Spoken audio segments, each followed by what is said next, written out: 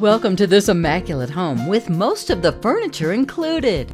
Enjoy impeccable views of the Huachuca Mountains, the golf course, and pond.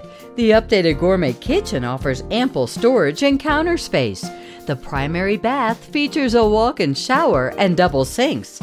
This is a desirable location with no HOA. Call Ann Jones and Casey Eggenberg to learn more.